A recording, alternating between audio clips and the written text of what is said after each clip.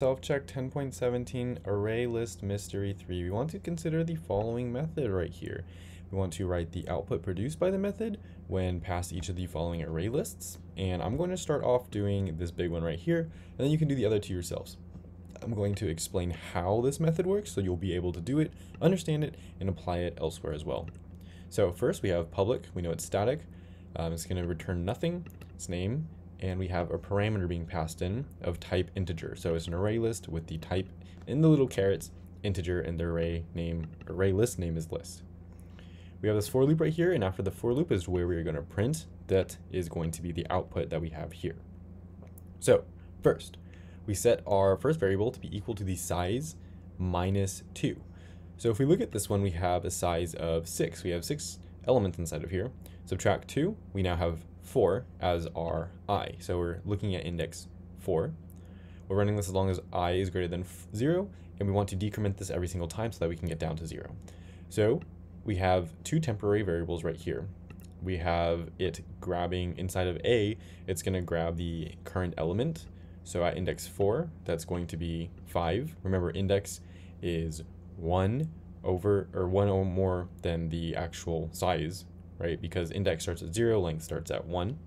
So it's going to be here. Uh, actually, 0, 1, 2, 3, 4. Yeah, okay. So this is 4. Well, actually, yeah. 4, and then we have 6. Sorry about that. So we have, we know we have 6 elements right here. 0, 1, 2, 3, 4. So we're starting at 4 right here. So that's going to grab that one. And then B is going to be the um, fourth element plus 1. So that's going to be at the fifth index.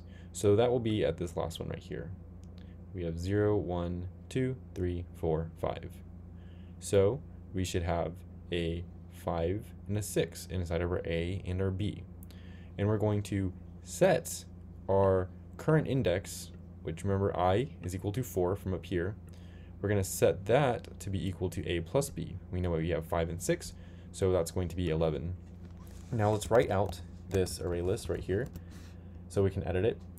Dot set replaces whatever we have in there. So at the fourth index, remember this is 0, 1, 2, 3, 4. So at this index, it's going to be replaced with 11.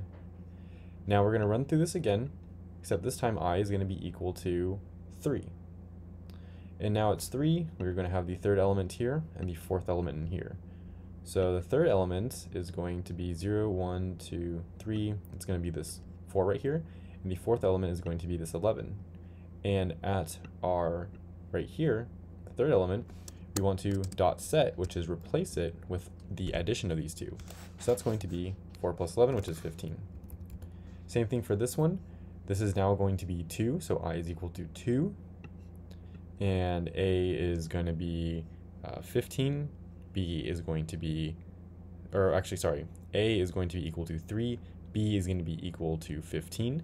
So we add these together, we get 18. You start to notice a pattern here, and it's that we are basically adding the previous two together and setting it to this current index until we get to this one. This one we don't want to touch because i is greater than 0, so we don't touch the 0th index. If it was greater than equal to 0, then we would uh, add these two as well. But that's going to be for that one. Try the rest on your own. It's pretty simple. I'll give you the answers. Hopefully you've tried it.